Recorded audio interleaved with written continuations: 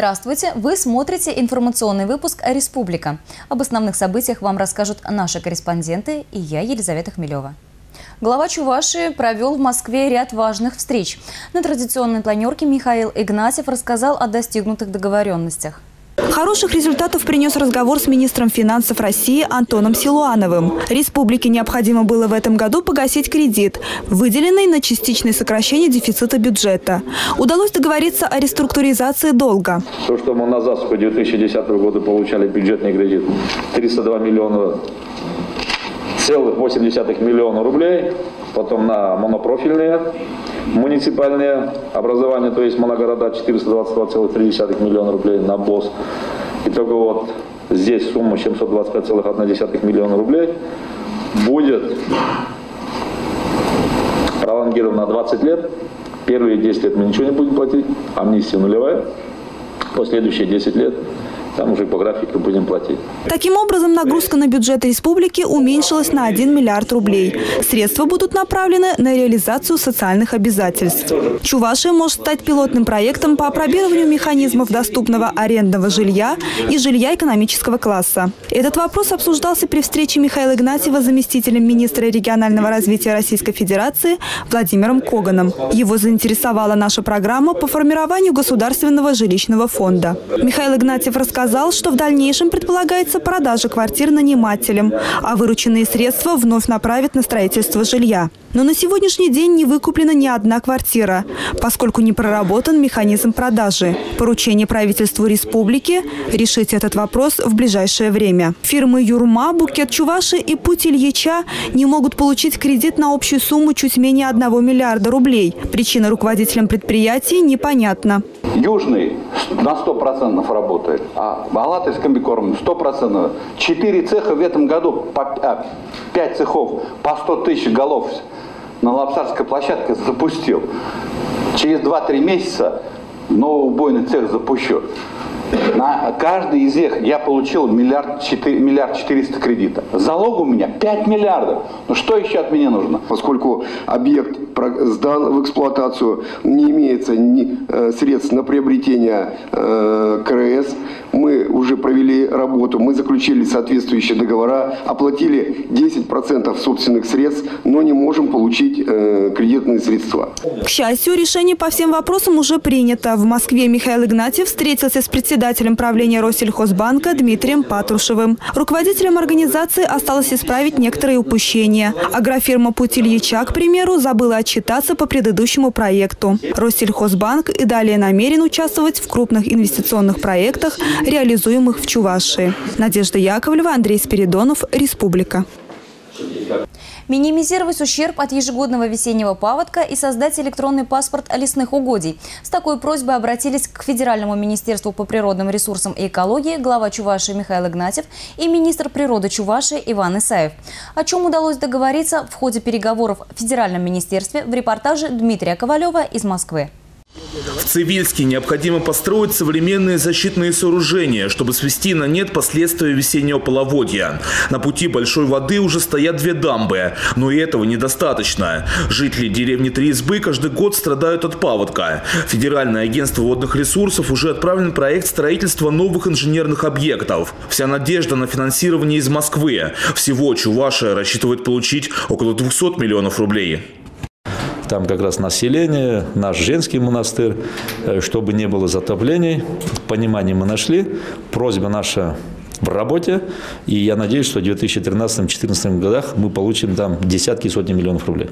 Федеральные средства, необходимые на расчистку заволжских горельников. Убрать высохшие деревья на площади в 2000 гектаров пока задача максимум. Материал на пострадавшей территории уже невозможно никому продать. На решение проблемы Михаил Игнатьев попросил 80 миллионов рублей. В ближайшие годы в республике планируют провести масштабные лесоустроительные работы. Лесоустроительные работы проводились в 1993 году. Материалы лесоустройства, которые находятся в лесничествах республики, устарели, утратили юридическую силу. Поэтому в 2013 и 2016 годах необходимо провести на территории республику, республики лесоустроительные мероприятия. Для этого необходимо 179 миллионов рублей. Дмитрий Ковалев, Андрей Шоклев, Республика.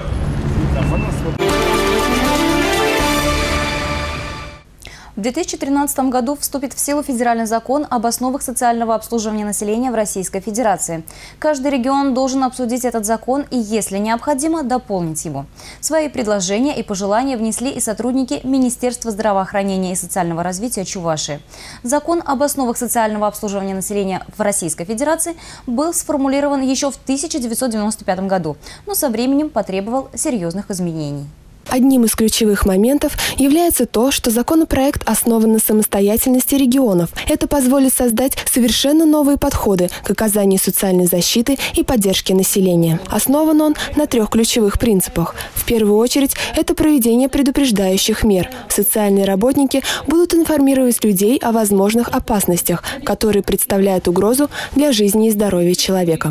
Зачастую незнание и неосторожность оборачивается трагедией. Немаловажным станет и выявление выявление людей, которые оказались в сложной жизненной ситуации. И самое главное, каждому человеку будет индивидуальный подход, где будет учитываться здоровье, семейное положение, а также психологическое состояние человека. А в обязанности социального работника будет входить не только помощь по хозяйству, покупка продуктов и лекарств, но и защита интересов подопечного, отстаивание его прав и в конечном счете решение существующих проблем. За последний год это третий законопроект, и постольку законопроект проект имеет очень большое общественное значение. Многие слои населения привязаны к этому закону. Будет идти обсуждение этого законопроекта социальным работникам Чувашской республики. 17 лет тому назад был, был принят законопроект, по которому сегодня работаем. И многие принципы устарели, и поэтому назрела актуальность принять новый закон. Законопроект вступит в силу в начале 2013 года, а пока он вынесен на общественное обсуждение и опубликован на официальном сайте Минтруда России. Высказать свое мнение мнение и внести предложение сможет любой желающий до 1 декабря 2012 года. Татьяна Филатова, Николай Яковлев, Республика. Сфера бизнеса становится все популярнее среди молодежи. Количество молодых бизнесменов растет с каждым днем. Такой интерес поддерживается и на федеральном уровне программой «Ты предприниматель». В Чебоксарах состоялся региональный этап всероссийского конкурса «Молодой предприниматель России-2012». Подробнее в нашем репортаже. Любой зарегистрированный в республике бизнес – это новые рабочие места, налоговые поступления в бюджет, а следовательно развитие региона. Люди, собравшиеся сегодня в зале, с полной ответственностью понимают это, несмотря на свой возраст. 18 молодых предпринимателей вышли в финал регионального этапа конкурса. Пятеро из них стали победителями в номинациях «Успешный старт», «Студенческий бизнес», «Инновационный бизнес», «Социально ответственный бизнес» и «Вклад в развитие молодежного предпринимательства». Ребята, молодцы.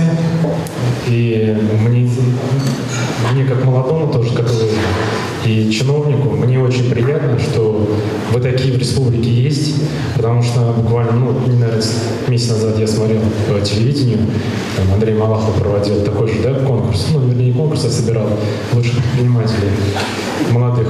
Так вот, я думаю, ну, там была среди, среди из них один из наших, я думал, ну, кроме него, наверное, есть еще у нас такие же. Я сегодня увидел, что не только один. Ребят, я всех поздравляю, вы молодцы, за вас. Как признаются участники, чтобы бизнес был успешным, нужно делать то, что любишь, и любить то, что делаешь. Александра Халименко много лет увлекается дизайном. Полгода назад ей удалось превратить хобби в способ заработка. Она открыла свой салон декора стен. И на этом останавливаться не собирается. За эти полгода мы успели э, открыть два офиса и в разработке еще два в соседних регионах. И потихонечку завоевываем нашу республику. Мы открылись в Новочебоксарске. Для Новочебоксарска это вообще э, новинка. Просто до нас этого в городе не представлял никто. Одна из дилемм современного бизнеса – продавать или производить. Перекупщиков сегодня достаточно много, а собственных популярных брендов в республике по пальцам можно пересчитать. Основатель всероссийского проекта «Бизнес-молодость» Михаил Дашкиев объясняет это так называемыми стадиями развития предпринимательства. Сначала мы концентрировались на продажах, то есть мы учились продавать. Ну и учили, да, других людей. Вроде сейчас научились так нормально. И следующим шагом является производство, инновации, изобретения, патенты, ученые, синтез ученых и предпринимателей. Это дает нам неограниченную возможность для запуска новых бизнесов. Это, я думаю, мы опять уйдем от просто разговоров к, опять же, ощутимым результатам, когда это можно будет посмотреть и пощупать, и воспользоваться этими самыми изобретениями, а не просто, чтобы они были на бумаге и на конференциях. Закончилась церемония награждения мастер-классом Михаила Дашкиева «Как заработать миллион рублей в месяц в Чебоксарах, если ты молод и амбициозен». Секрет успеха оказался достаточно прост. Это на самом деле страшная ситуация, которая происходит в России. То есть все едут в это Эльдорадо, думая, что там реально деньги, хотя они не видят их под ногами. Ребята, можно отлично жить в Чебоксарах, тысяч на триста. И самое, что интересное, что вы, каждый из вас, вы, вы можете это сделать. Причем вы можете это сделать, ну, как бы в ближайшие там 2-3 месяца. Если вы будете это делать, а не визуализировать. Анастасия Алексеева, Андрей Спиридонов, Республика.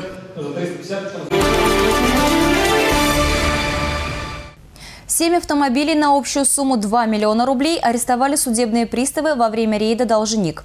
Рейд прошел на посту восточной столицы Чувашии при въезде в направлении города Новочебоксарск. Водителей проверяли по базе данных Управления Федеральной службы судебных приставов по Чувашской республике. Если есть непогашенный долг, судебный пристав-исполнитель принимал оплату на месте. В случае, если должник не мог погасить задолженность, на его имущество накладывался арест.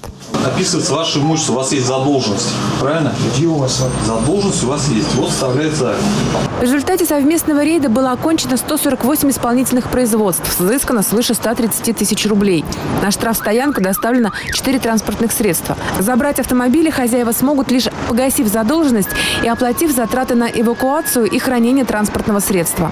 Во время рейда было составлено 4 протокола на водителей за воспрепятствование законной деятельности судебного пристава, находящегося при исполнении служебных обязанностей. На них наложен еще один штраф от тысячи до полутора тысяч рублей. Так что порой оказывается дешевле заплатить первоначальный штраф.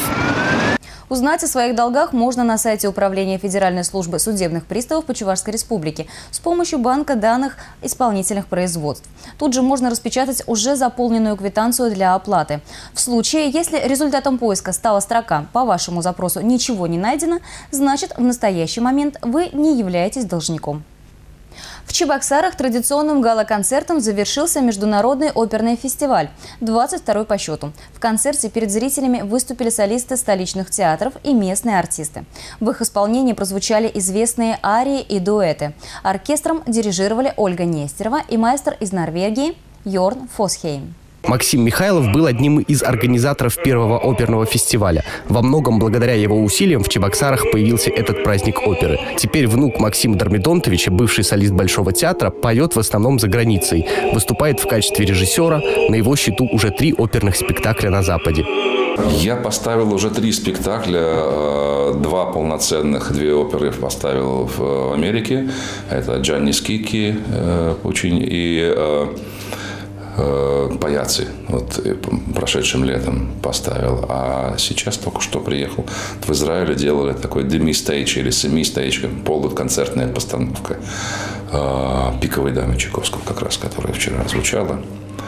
Вот, с израильским филармоническим оркестром и дирижировал Владимир Юровский, один из самых выдающихся дирижеров сегодняшних дней – Солисты Большого и Мариинского театров, гости из соседних регионов выступили в гала-концерте. Вместе с приглашенными звездами на сцене блистали солисты театра оперы и балета. Высокий уровень фестиваля год от года подтверждается участием ведущих исполнителей России и зарубежья. Выступления гостей не только интересны публике, но и полезны музыкантам и артистам театра. Ведь профессиональный опыт – вещь очень ценная. Мне очень э, понравился фестиваль, потому что это очень, это, это сильный фестиваль, это очень много, э, э, каждый день почти новый спектакль, это, это большие оперы, это, это, это был концерт, соло-концерт Зарембы, это сегодня у нас гала-концерт был, это очень много, очень много музыки в течение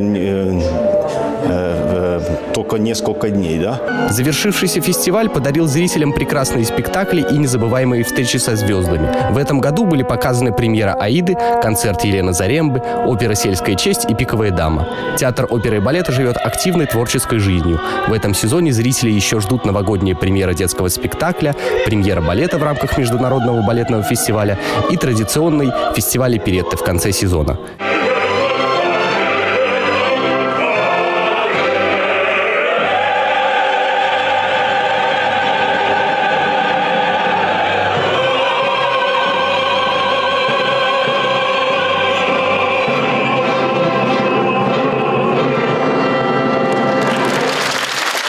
Сергей Фишер, Андрей Спиридонов, Республика. В республике стало известно имя семьи года 2012. Награждение проходило во Дворце детского и юношеского творчества. Наш корреспондент Оксана Александрова узнала, в чем секрет семейного счастья.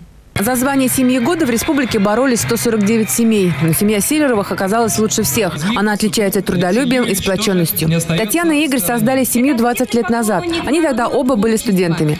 Сейчас у них пять детей. Самому старшему 12 лет. Младшей дочери полтора года. У семьи уже есть свои традиции. Каждое утро у нас начинается с овсяной каши. А заканчивается стаканом молока с медом, колыбельной песенкой и сказками на ночь. Все праздники, семейные просмотры, совместные фильмов с последующим обсуждением. Даже мультики вместе смотрим, и все папа нас объясняет, что к чему. Силеровы не ожидали, что станут семьей года. Мы предполагали, что мы победим в номинации «Многодетная семья». Да, да. А что победителей всего конкурса, конечно, нет. Потому что достойных семей у нас в республике очень много. И оценивается ведь не по количеству детей. По мнению Татьяны и Игоря, чтобы быть счастливой, нужно работать и не лениться. Все знаем, что надо делать, да? Надо трудиться. Сказали, рожать и растить детей. Все, это если каждый будет этим заниматься, все само собой будет получаться. А сейчас же все хотят сразу и все. Так никогда не бывало в жизни. На празднике также отметили и творческую семью. Ею стали Соловьевы из Комсомольского района. Татьяна и Николай оба любят петь и танцевать. Хранительница семейного очага Татьяна преподает танцы в школе, а еще занимается в районном ансамбле. Недавно она вместе с коллегами побывала в Турции. В семье Соловьевых дети пошли по стопам родителей. Они тоже любят петь и танцевать. Катя и Даша занимаются в школьном ансамбле, а без шестилетней Яночки в садике не проходит ни один праздник. Глава семьи Николай вместе со своими дочерьми участвует во всех праздниках. Как он говорит, с ними я чувствую себя очень веселым. В чем секрет счастья? Многие спрашивали участников. Ответ оказывается слишком прост. Любить и уважать своих детей, свою работу. Оксана Александрова, Николай Яковлев, Республика. Футбольные команды следственных управлений СК России в минувшую субботу вышли на поле, чтобы выявить лучших. В турнире приняли участие команды шести следственных управлений из Чуваши, Мариэл, Татарстана, Башкортостана, Кировской и Ульяновской областей. В групповом турнире наша команда встречалась с коллегами из Башкортостана и Кировской области. В финале чувашские футболисты встретились с башкирскими и выиграли со счетом 1-0. Победный гол в финале забил лучший бомбардир турнира, следователь по особо важным делам Следственного отдела по городу Чебоксары Сергей Вазиков, записавший за весь турнир на свой счет 8 голов. Лучшим вратарем турнира также признан игрок СУСТ по Чувашии, следователь по особо важным делам Павел Карлин. С момента создания Следственного комитета в управлении создана футбольная команда, которая состоит из следователей Следственного управления. И несмотря на напряженный, э, тяжелый, э, тяжелую следственную работу, напряженный график, э, мы находим время, чтобы поддерживать свою физическую форму, и что помогает нам достигать положительных результатов в работе и поддерживать физическую форму, потому что без спорта нет будущего. Это, во-первых, коллективные, отсюда и корпоративный дух. А к- когда корпоративность, коллективность в игре, так она и на работе сказывается, нам помогает это.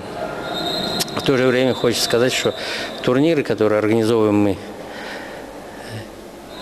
как встречая у себя коллективы команд других следственных управлений других республик, так или же выезжая в другие республики, мы общаемся в первую очередь с теми же нашими коллегами, которые работают в условиях уже э, в отличных, чем наши ребята. Они общаются между собой.